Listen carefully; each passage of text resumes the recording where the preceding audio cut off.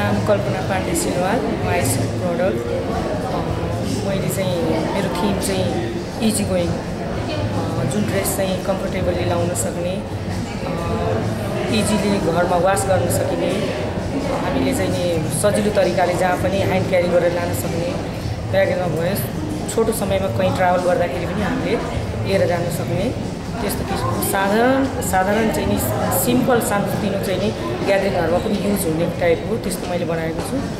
यो चाहिँ इन्सपिरेसन मलाई कसरी भयो भन्दाखेरि यो ड्रेसेसले गर्दाखेरि चाहिँ नि सानोतिनो पार्टी पनि कभर भइहाल्ने हामी नेपालीहरूको।